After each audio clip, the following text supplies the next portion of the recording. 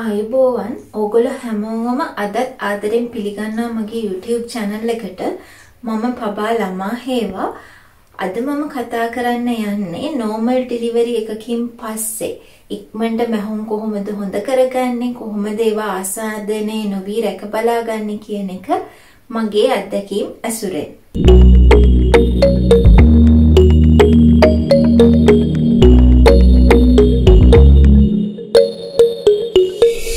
මම මගේ අත්දැකීම ගැන කතා කරන්න කලින් මුලින්ම මේ මැහුම් ඇතිවෙන්නේ කොහොමද තුවාලයක් ඇතිවෙන්නේ කොහොමද කියන එක ගැන පොඩි විස්තරයක් කියන්න.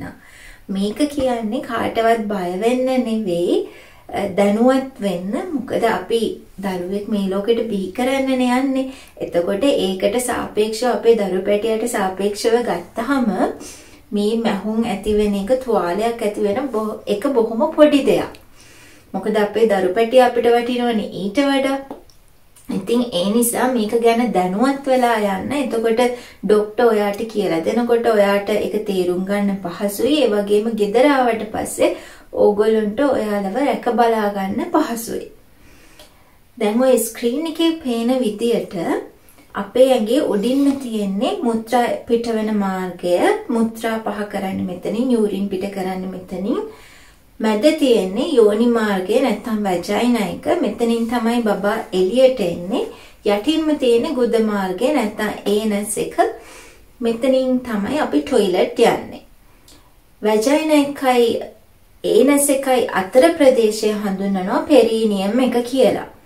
නෝමල් ඩිලිවරි එකකදී මේ පෙරීනියම් එක සමහර අයගේ පොඩි ඉරීමකට ලක් වෙන්න පුළුවන්. ඒක ඉබේ වෙන දෙයක්.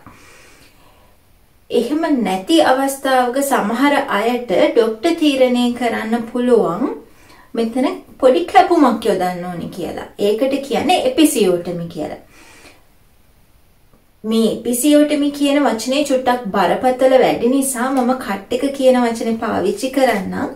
ඉස්සර නම් සෞඛ්‍ය ශාස්ත්‍රයේ විශ්වාසයක් තිබුණා මෙහිම කට් එකක් යොදන එක ඉබේ ඉරීමකට ලක් වෙනවට වැඩිය හොඳයි කියලා මොකද අවට තියෙන මසල්ස් වලට වෙන ඩැමේජ් එක අඩුයි කියලා. හැබැයි දැන් හොයාගෙන තියෙනවලු ඒ දෙකේ මහලොකු වෙනසක් නැහැ කියලා. ඒ නිසා දැන් ડોක්ටර් තීරණය කරොත් කට් එකක් යොදන්නේ ඒක හේතු කිහිපයක් හින්දා වෙන්න පුළුවන්. එතකොට බබා ඇතුලේ හිර වෙලා ෆෝසෙප් හරි වැකියුම් හරි දාලා බබාව එළියට ගන්න ඕන නම් නැත්තම් බබාගේ ඔළුව එළියට ආවට ෂෝල්ඩර්ස් ඇතුලේ හිර වෙලා නම් නැත්තම් දැන් ගොඩක් වෙලා ඩෙලිවරි එකට ගිය නිසා හරි මොකක් හරි වෙනත් හේතුවකට බබාගේ heart rate වෙනස් වෙගෙන එනවනම් ඔන්න ඔය වගේ කාරණා කීපයක් හින්දා ડોක්ටර් කට් එකක් යොදන්න පුළුවන්. එපිඩියුරල් අරන් තියනවා නම් මේ කට් එක යොදනකොට කොහොමද හිරිවැටිලානේ තියෙන්නේ. ඒ නිසා දැනෙන්නේ නැහැ. එහෙම ගත්තේ නැති අයට මේක කට් එක යොදනකොට පොඩි ඉන්ජෙක්ෂන් එකක් දෙනවා එතනට හිරි වැටෙන්නේ. ඊට පස්සේ තමයි කැපුම යොදන්නේ. මහුන් යොදන්නේ හිරි වැටීම තියෙනකොට. ඒ නිසා දැනෙන්නේ නැහැ. ඒකට බය වෙන්න එපා. මේ ඉරීමකට ලක් වෙන එක හරි කැපුම හරි අවස්ථා හතරකට නැත්තම් ඩිග්‍රීස් හතරකට බෙදනවා. ෆස්ට් සෙකන්ඩ් තර්ඩ් ෆෝර්ත් කියලා. ෆස්ට් එක කියන්නේ බොහොම පොඩි ඉරීමක්. දෙවැනි එක ඊට වැඩි චුට්ටක් වැඩි. ඒ වුණාට මැහුමක් දෙකක් ඕන වෙන්නත් පුළුවන් නැති වෙන්නත් පුළුවන්. මේ පළවෙනි අවස්ථාවයි දෙවෙනි අවස්ථාවයි බරපතල විදියට සැලකෙන්නේ නැහැ. තුන්වෙනි අවස්ථාවේදී වැජයින එකේ ඉඳන් ඒනස් එක වෙනකම්ම මේ විවර වීම තියෙන්න පුළුවන්. හතරවෙනි අවස්ථාවේදී ඒනස් එකෙත් පොඩි විවර වීමක් සිද්ධ වෙන්න පුළුවන්. එතකොට තුන්වෙනි අවස්ථාව හතරවෙනි අවස්ථාවයි ගත්තම අනිවාර්යෙන් මහොන් යොදනවා. ඒව ටිකක් සැලකිල්ලෙන් රැක බලා ගන්න ඕනේ. ටිකක් බරපතල විදියට තමයි සැලකෙන්නේ. ඒක නරක දෙයක් නෙවෙයි. අපි හොඳ පරිස්සමින් ඒව බලා ගන්න ඕනේ කියන එකයි ඒකෙන් අදහස් කරන්නේ. ඕගොල්ලෝ ඩිලිවරි එකට යනකොට ડોක්ටර් ගැන හොඳ විශ්වාසයෙන් ડોක්ටර් කියන දේවල් හොඳට තේරුම් අරගෙන ඩිලිවරි එකට යන්න. එතකොට මේ කිසි ප්‍රශ්නයක් වෙන්නේ නැහැ. ඔයාගේ ડોක්ටර් ඔයාට කරන්න තියෙන හොඳම දේ හොඳම විදියට කරයි. ඒ නිසා කිසි දෙයකට බය වෙන්න එපා. හොඳ වෙන්න ගත වෙන කාලය ගත්තොත් එහෙම මේ මැහුම් ඒක තුවාලයේ ප්‍රමාණය සහ මැහුම් ප්‍රමාණය අනුව වෙනස් වෙනවා. පොඩි තුවාලයක් නම් ඉක්මනට හොඳ වෙනවා. ටිකක් ලොකු එකක් නම් කල්ගත වෙනවා. මගේ අත්දැකීම කතා කරොත් මමත් නෝමල් ඩිලිවරි එකක් තමා කරේ. මගේ බබා චුට්ටක් ලොකු පැත්තට හිටියේ. ඩිලිවරි එකට ටික වෙලාවක් ගියා. ඒ නිසා ડોක්ටර් තීරණය කරා කැපුමක් යොදන්න ඕනි කියලා. ඩිලිවරි එක ඔක්කොම ඉවර වුණාට පස්සේ ડોක්ටර් මට කිව්වා මේක තුන්වෙනි අවස්ථාව නැත්නම් 3rd degree එකක් තමයි තියෙන්නේ කියලා. ඉතින් මගෙත් මැහුම් ගොඩක් තිබුණා. මගේ මේ මැහුම් ටික හොඳ වෙන්න සති 6ක් ගියා. ඉතින් ඕක තමයි මගේ එක්ස්පීරියන්ස් එක. අපි දැන් බලමු කොහොමද මේ මැහුම් මම කොහොමද බලාගත්තේ මට මොනවද හොස්පිටල් එකකින් කියලා දුන්නේ කියලා.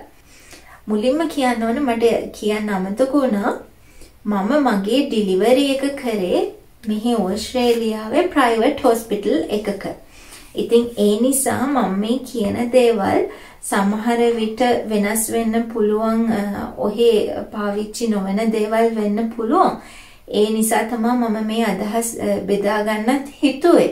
මේවා try කරලා බලන්න. මොකද මට මේවා එකක්වත් මම හොයාගත්ත ඒවා නෙවෙයි.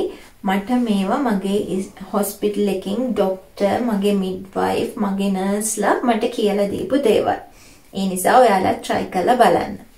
ඩිලිවරි එකකින් පස්සේ ඒ මුල් දවස් කීපේ මේ මැහුම් තියෙන ප්‍රදේශයේ ඉදිමෙන්න පුළුවන් රිදෙනවා මැහුම් කොහොම තියෙනකොට කොහොමද රිදෙනවා ඉතින් එහෙම තියෙනවා ඒ නිසා මට කියලා දුන්නා මෙතනට අයිස් පාවිච්චි කරන්න කියලා. ඒකට මෙන්න මේ වගේ අපිට එළියෙන් මිලදී ගන්න අයිස් පැකට්ස් හදපු ඒවා තියෙනවා. මේකේ නම් දැන් මෙහෙම එකක් වගේ පෙනුනට මෙතන හතරක් තියෙනවා. මෙහෙම මෙතන දෙකයි මෙතන දෙකයි හතරක් තියෙනවා. මේක මේ ගන්නකොට මේ කඩදාසියක් වගේ තියෙන්නේ. මේක වතුරේ පොඟවලා ෆ්‍රීසර් එකේ දාලා තමයි අයිස් පැක් එක හදාගන්නේ. එතකොට මේක සම්පූර්ණයෙන් පාවිච්චි කරන්නත් පුළුවන්.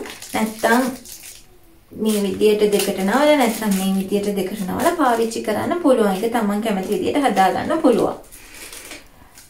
මේවා හොයාගන්න නැත්නම් ඒක ගැන කරදර වෙන්න එපා. අපි පොඩි කාලේ අයිස් පැකට්ස් කෑවේ කඩෙන් අරගෙන ඒ වගේ පොලිතීන් වලින් වතුර පුරවලා පොඩි පැකට්ස් හදාගන්න අයිස් පැකට්ස්. ඒව පාවිච්චි කරන්න පුළුවන් මේවා වෙනුවට. හැබැයි කොයිම වෙලාවකවත් මේවා හැමේ කෙලින්ම ගෑවෙන්න තියන්නේ නැහැ. මේක රෙද්දක හරි නැත්තම් පේපර් ටවල්, টয়ලට් පේපර් නෙවෙයි, පේපර් ටවල් වල හරි ඔතලා නැත්තම් බේබි වයිප්ස්, ඩ්‍රයි වයිප්ස් වල හරි ඔතලා තමයි තියන්න ඕනේ. පෑඩ් එක උඩින් මේ අයිස් පැක් එක තියලා ඉවර වෙලා තමයි අන්ඩර්වෙයා එක අඳින්න ඕනේ. එතකොට මේක විනාඩි 10ක් විතර තියාගත්තාම ඒ මැහුන් තියෙන ප්‍රදේශේ හිරිවැටෙනවා.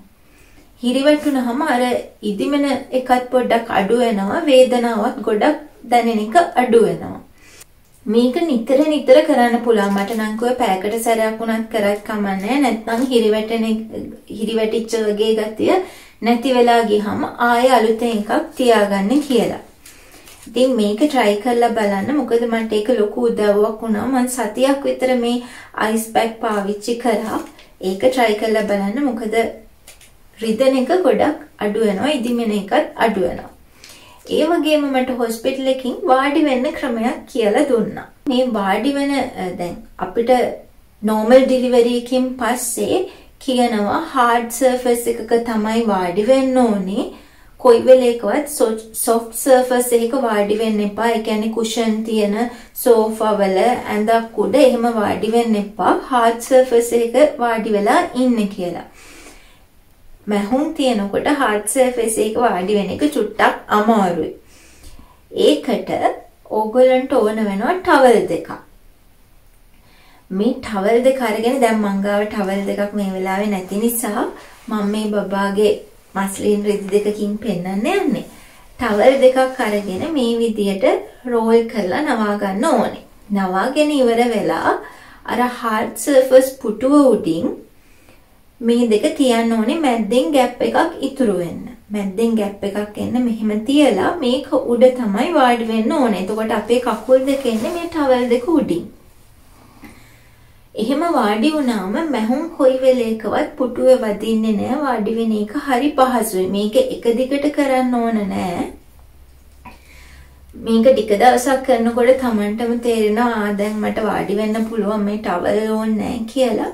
එතකොට සාමාන්‍ය විදියට වාඩි වෙන්න එතකන් මේ ක්‍රමය try කරලා බලන්න ලොකු පහසුවක් දැනේවි. මැහුම් තියෙද්දි වැදගත්ම දේ තමයි මේ මැහුම් පිරිසිදු කරලා ක්ලීන්ව තියාගන්න එක. ඒකට නිතරම ඇඟ හොදන නානේව කරන්න ඕනේ. ඒ ඇරුණාම මේවා මැහුම් පිරිසිදු කරන්න මද උණුසුම් වතුර පාවිච්චි කරන්න පුළුවන් නම් වඩා හොඳයි.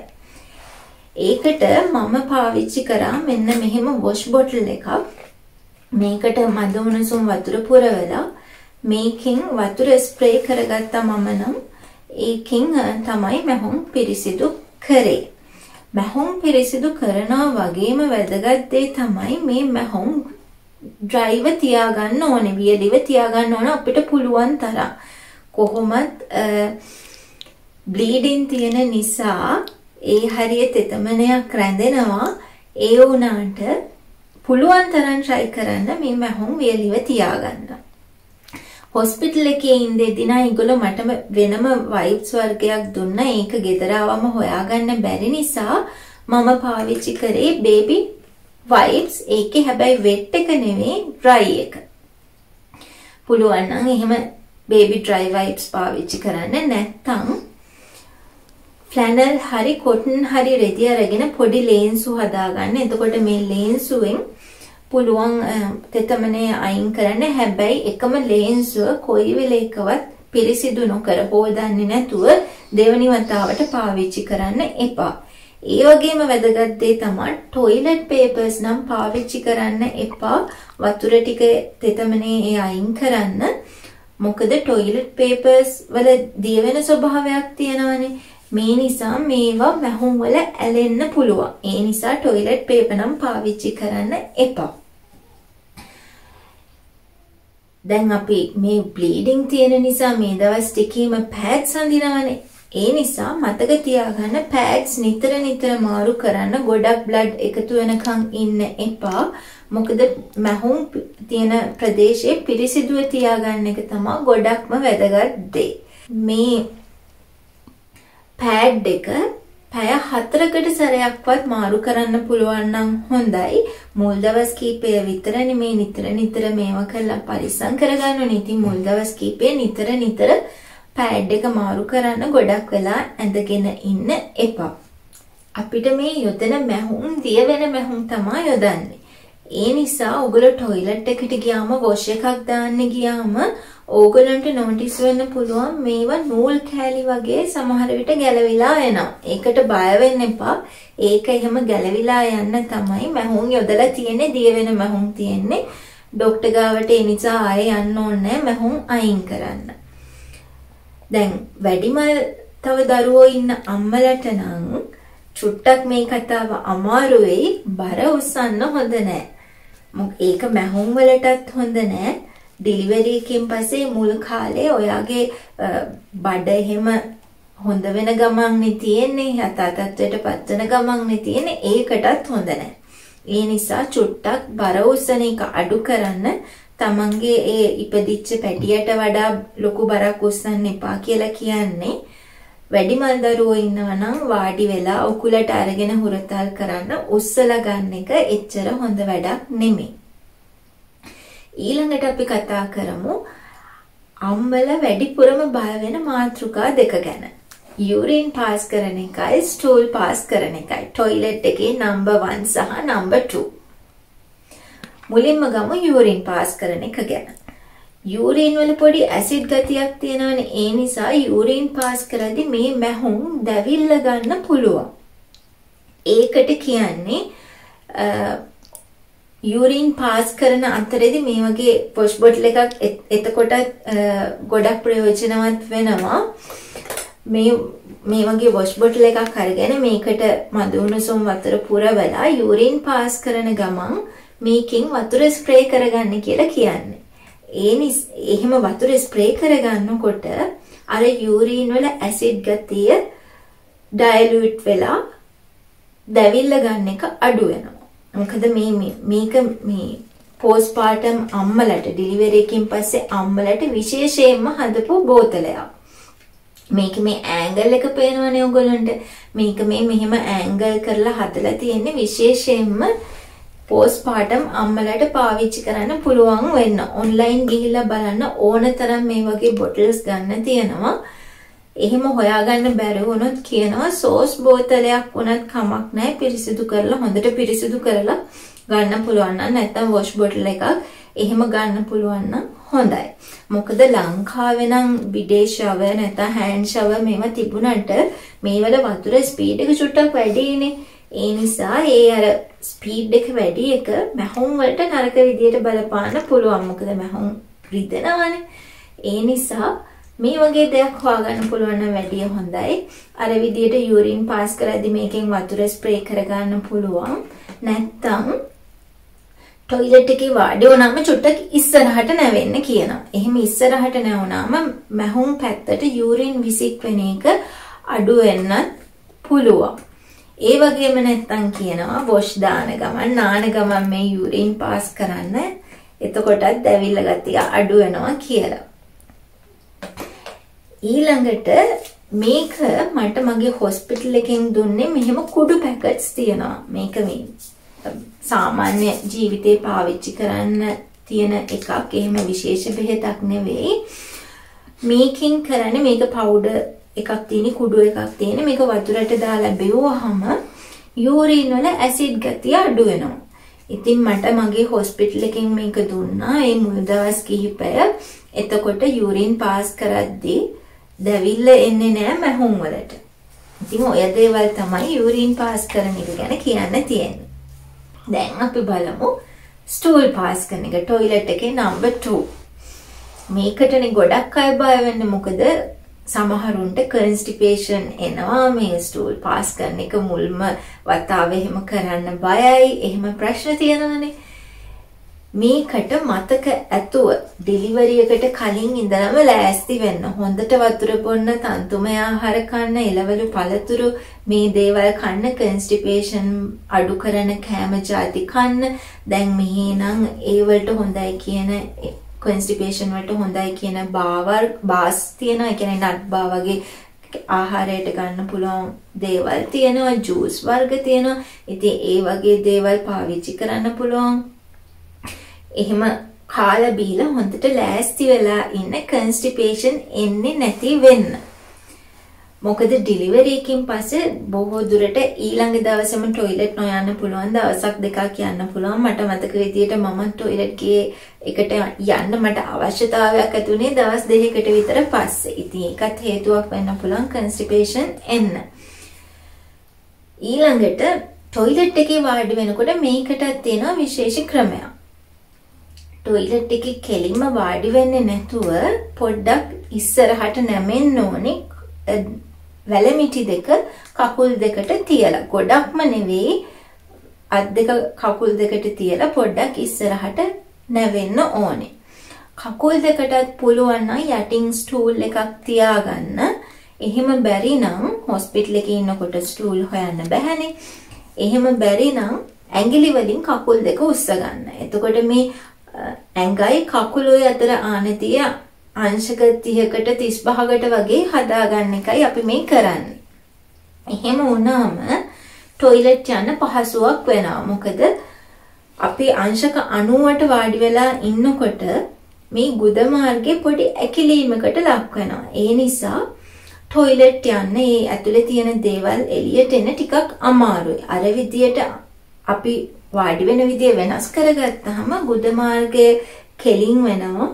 ඒකෙන් ඇතුලේ තියෙන දේවල් එළියට එන්න පහසුයි. ඒ වගේම වැදගත්ම දේ කොයි වෙලේකවත් තටමලා අමාරුවෙන් යන්න try කරන්න එපා. ඒක කරන්න හොඳම නැති දෙයක්.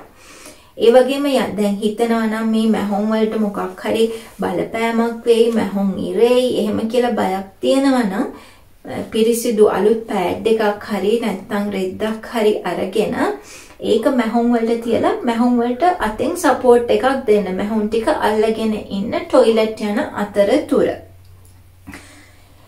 දැන් මම යූරින් වලට කිව්වනේ අර පවුඩර් එකක් තියෙනවා කියලා. ඒ වගේම පවුඩර් එකක් කුඩු එකක් තියෙනවා කන්ස්ටිපේෂන් වලට. ඒකත් වතුර දිය කරලා නිකන් බොන්න තියෙන්නේ. මේකත් මට හොස්පිටල් එකකින් දුන්නා.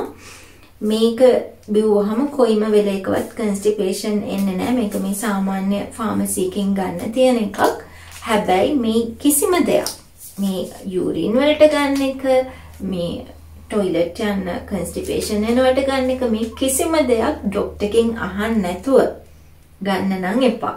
ඩොක්ටර්ත් එක්ක කතා කරලා ඕගොල්ලොන්ගේ කන්ඩිෂන් අනුව සෞඛ්‍ය තත්ත්වය අනුව ඒවා වෛද්‍ය උපදෙස් මත ගන්න ඕන මොකද මට මේවා දුන්නේ මගේ හොස්පිටල් එකකින් මගේ ඩොක්ටර් තමයි දුන්නේ.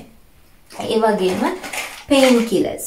පේන් කිලර්ස් මට පේන් කිලර්ස් සහ ඉදිමීම අඩු කරන්න මට බෙහෙත් ಜಾති තුනක් දුන්න මගේ ඩොක්ටර්. මේක එක දිගට සතියක් වගේ තමා මම ගත්තේ මට ගෙදර එනකොට ගෙදරදිත් ගන්න කියලා ලියලා දුන්නට මට සතියකින් විතර පස්සේ මේව ගන්න ඕන ඕනේ හැම වේදනාවක් දැනුනේ නැහැ. ඉතින් මේ පේන් කිලර්ස් උනත් මේවා වුණත් ආය මතක් කරනවා ඩොක්ටර්ගෙන් අහන්න නැතුව තමන්ගේ හිතුමතේට ගන්න එපා අනිවාර්යෙන් අහන්න. ඒ වගේම සමහර අම්මලා බය වෙනවා මේ බෙහෙත් જાති ගන්න බබා ලැබුණාට පස්සේ බබාට හොඳ නැති වෙයි කියලා. ඉතින් මම හිතන්නේ නම් ડોක්ටර් කෙනෙක් අපිටවත් අම්මටවත් දරුවටවත් නරකක් වෙන දෙයක් කියන්නේ නැහෙනි කරන්න කියලා. ඉතින් ડોක්ටර් එක කතා කරලා බලන්න ડોක්ටර් කිව්වොත් ඒක බබාට සේෆ්, ඔයාටත් සේෆ් කියලා. ඒ දේවල් පාවිච්චි කරන්න මොකද වැදගත්ම දේ අපි කායිකව අපේ දරුවෝ රැක බලා ගන්න ලෑස්ති වෙලා ඉන්නක වැදගත් නිසා. මොකද අපි හරි අමාරුවෙන් පාටි වෙන්න බැරුව වේදනාවෙන් ඉන්නකොට අපිට අපේ දරුවට 100% දෙන්න බැහැනේ. දරුවව රැක බලා ගන්න ටිකක් අමාරුයිනේ ඒ නිසා ඒක හිතේ තියාගන්න ડોක්ටර් එක්ක මේ දේවල් කලින්ම කතා කරලා තියාගන්න. එතකොට ලේසි. ඉතින් ඔන්න ඔය දේවල් තමයි මම මගේ මැහුම් ආසාදනය නොවි බලාගන්න කරේ මහුම් හොඳ වෙන සති හයක් ගියා මට අර කියපු විදියට තර්ඩ් ඩිග්‍රී එකක් තිබුණ නිසා. ඉතින් මම හිතනවා මේ දේවල් ඕගොල්ලන්ටත් ප්‍රයෝජනවත් වෙයි කියලා. ඔගොල්ලෝ මේ විදියට මං වීඩියෝ ඉදිරියටත් කරන්න හිතන් ඉන්නවා. ප්‍රෙග්නන්සි එක ඩිලිවරි එක. ඊට පස්සේ මගේ බබා එක්ක මම ඒ ගත කරන ජීවිතය. මං මොනවද බබා වෙනුවෙන් ගත්තේ පාවිච්චි කරේ? කොහොමද ආපු ප්‍රශ්න? ඒ දේවල් ඕගොල්ලොත් එක්ක බෙදා හදාගන්න මම බලාපොරොත්තුවෙන් ඉන්නවා. ඉතින් අද වීඩියෝ එක වගේ ඉදිරියට එන වීඩියෝත් ඕගොල්ලන්ට ප්‍රයෝජනවත් වෙයි කියලා හිතනවා නම් මාව subscribe කරන්න අමතක කරන්න එපා. බෙල් අයිකන් එකත් ක්ලික් කරන්න. එතකොට මම වීඩියෝ එකක් දාපු ගමන් ඕගොල්ලන්ට දැනගන්න පුළුවන්. එහෙනම් ඉතින් ඔයගොල්ලෝ හැමෝන්ටම කිසිම කරදරයක් නැතුව නිදුක් නිරෝගී වාසනාවන්ත දරුපැටියෙක් මේ ලෝකෙට බිහි කරන්න ලැබෙන්න කියලා ප්‍රාර්ථනා කරනවා. අදට ගිහින් එන්න. ඔයගොල්ලෝ හැමෝන්ටම සුබ දවසක්.